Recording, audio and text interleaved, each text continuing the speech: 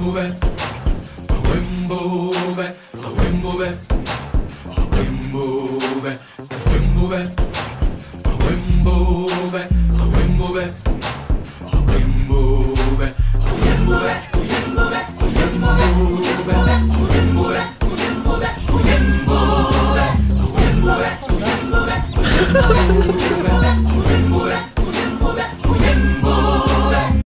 So after spending a few days exploring Victoria Falls in Zambia and Zimbabwe, Abby and I headed to Botswana with a tour group, where we ended our day with a river cruise in Chobe National Park. The Chobe River is a known watering spot for large herds of elephants and hippos, so we hope to get treated with a viewing. Yeah.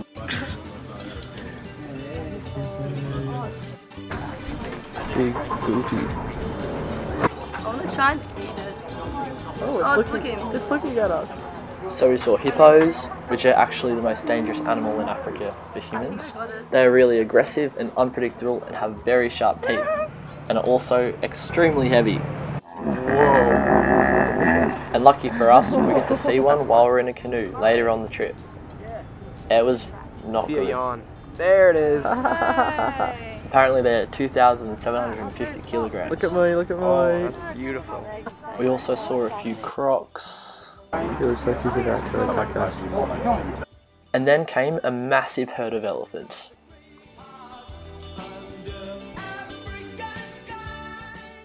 There were so many little families and so many little baby elephants. It was so good to watch.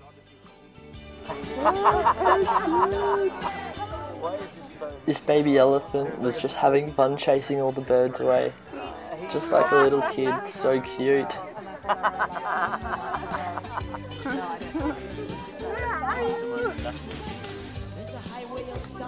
It's chasing the bird. Oh, how adorable.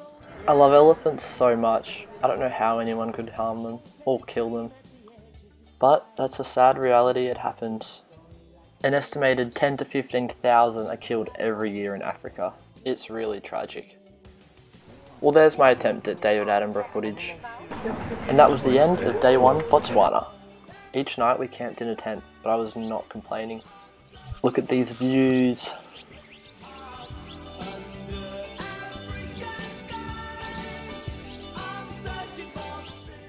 Today we're going on our first driving safari in Chobe National Park. It's gonna be a good day. It's gonna be. Abby isn't a morning person. Chobe was awesome. I've been on a safari before, but this was Abby, my sister's first time. We started off seeing a big hippo with a baby hippo, and then a whole bunch of other hippos, which just look like boulders in the water, all escaping daily heat. As with any wild safari, it's not a zoo, so you never know what you're gonna see. And sometimes you go through periods where you don't see anything, and other times when you see lots of things. But this all adds to the excitement. Sometimes you have to keep yourself entertained. Perseverance pays off, and then we find a bunch of monkeys in Impala all munching away. A monkey with a little baby,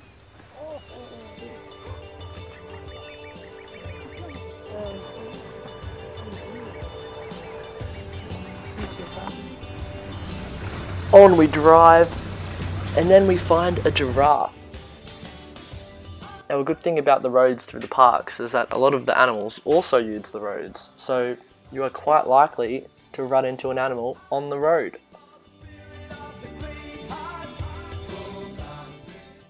Happy days, and then came the elephants, up nice, close, and personal this time.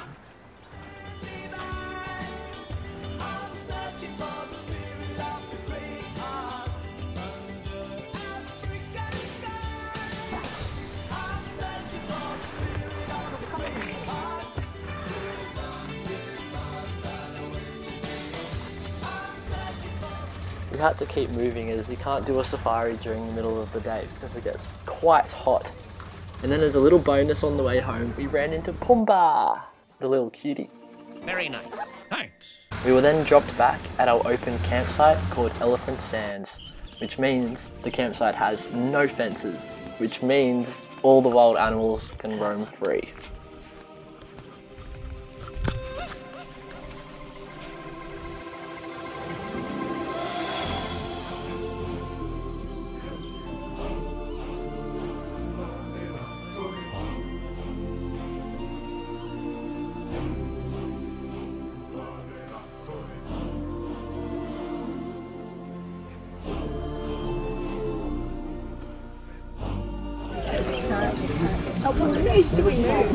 I think now. Probably now.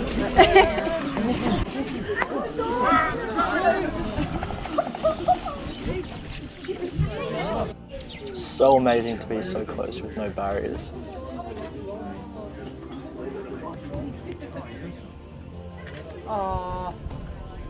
So here we are in Sabi Sands where there is no fence around our campsite and the elephants just roam through. that's what that's our tent. Jesus. Can't wait to sleep tonight.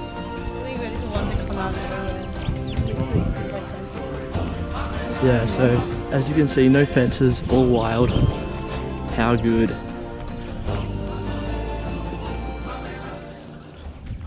Where is it? Where? Up there. There's a that's a big ant. Probably have shoes on. Getting a bit close there.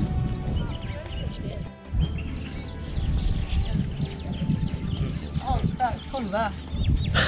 There's nothing even to hide. I'm gonna hide in the blanket. So this is where we are sleeping tonight. And that is a wild elephant.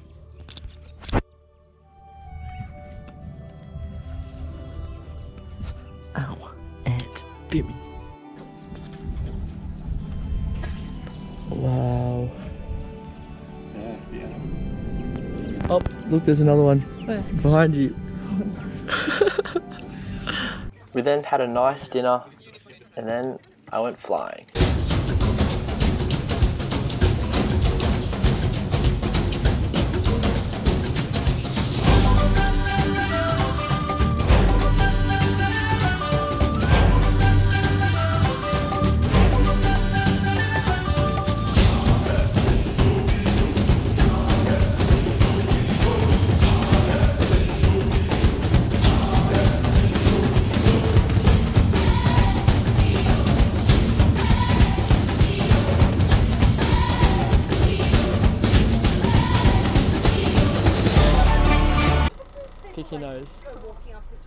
Disgusting.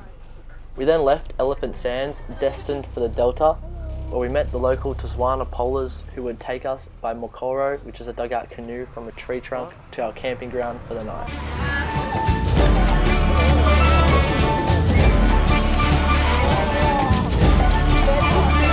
Everybody look left.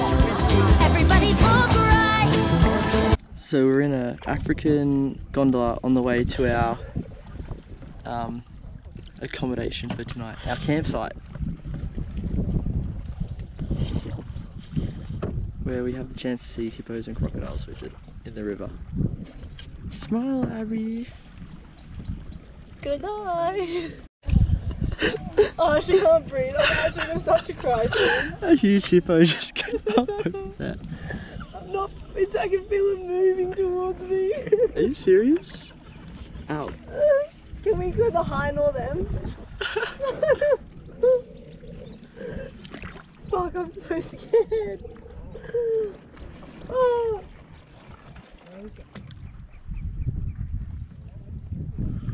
How long do they hold their breath for? They, surely they can't come in this. Too shallow. So we recovered from our first hippo sighting in the water, and then it was smooth sailing from then on.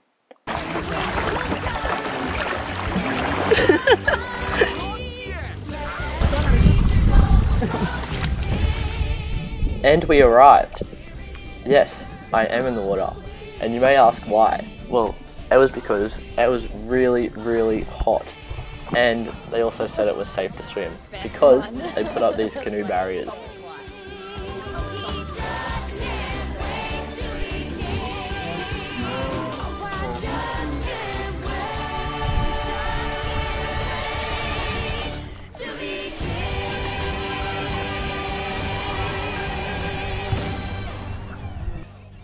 Then in the Arvo, we went on a walking safari in search for some leopards, hopefully. Abby was ecstatic. Matata. It means no worries. Some zebra and giraffe. What a wonderful phrase. Hakuna Matata. Ain't no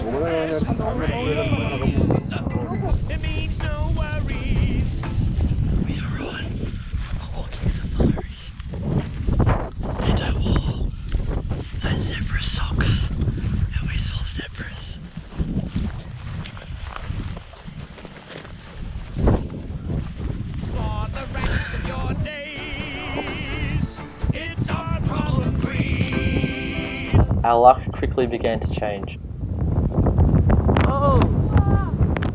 And a huge storm started to roll in halfway through our safari. That, that's right with a bucket. Ow! So our cameras are in the bag. It's about to start storming. There are about, I don't know, look at it wide sack. 200 meters. They're about 20 buffalo up ahead, which they're dangerous, but it's the only way back. Okay. And we're in an open field, you should see the lights. It's awesome. Let's wait, let's wait for the lights. yeah, where's the lights? So I'm literally scared of cats. Like, can't even walk near them right now. I'm just walking with lions and uh, some wildebeest as well that I didn't know existed. This is living.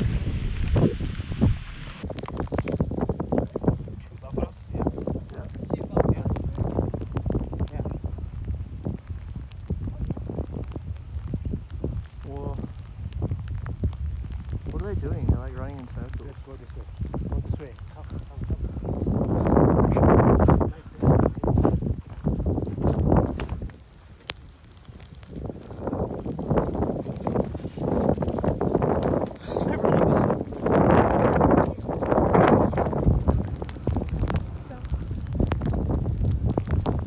I think we should hide behind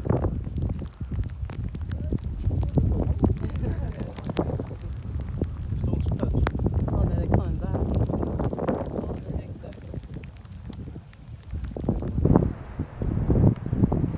The wildebeest is like, like a buffalo. Sing it like a buck. They're all running.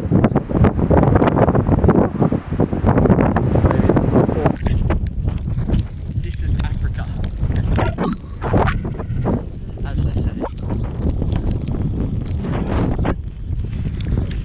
The wildebeest and buffalo blocked our way home, so we had to take the long way around. And by the end of it, I really just wanted it to be over. And then I make it. Whoa! Did you get that one? Please tell me you got that one. So this is our tour guide for our walking safari.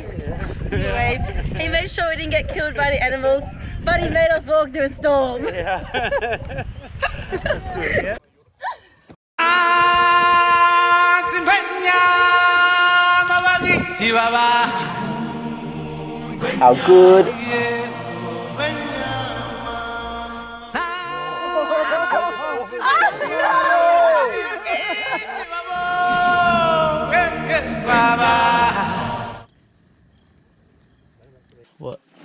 Every time that hits my eyes, you're like.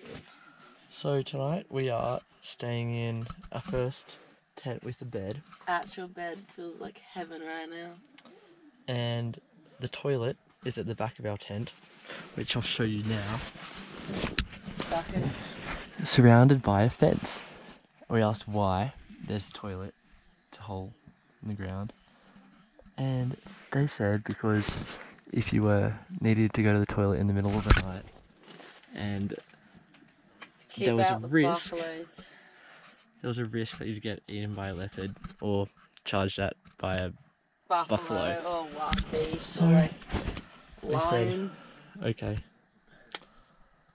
Abby keeps finding. Freaking spiders. Mother Nature hates me. Could tell she's dealing very well with the Second Um, one tonight above my bed. with the adapting to camping life. Haven't died yet. Love a good sunrise. To head back to Maun, we were then escorted by our polers back through the river filled with crocodiles and hippos. On the way back, a hippo was spotted in the water, so everyone was just waiting to see where it actually was before we proceeded. Oh, there it is.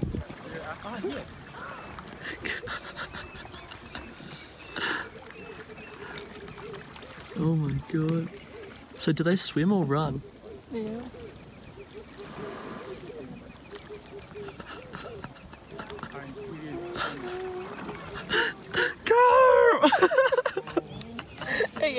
We can go now. I don't have to come back up. We're about to go on a mini flight over Delta in this little five-seater plane. Tiny. Tiny. It's a little bit windy, but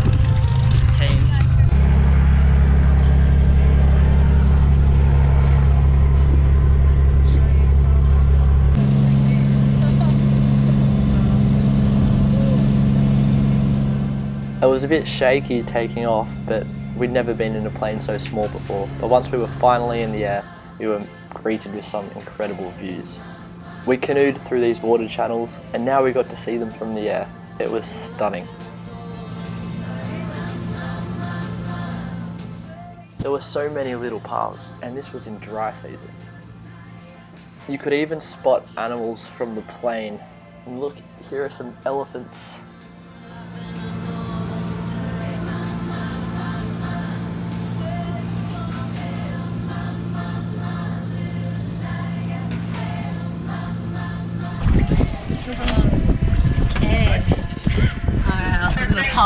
Pass there. We travelled by our safari truck from Maun to Ghanzi, where we met up with the local San Bushman tribe for a cultural experience.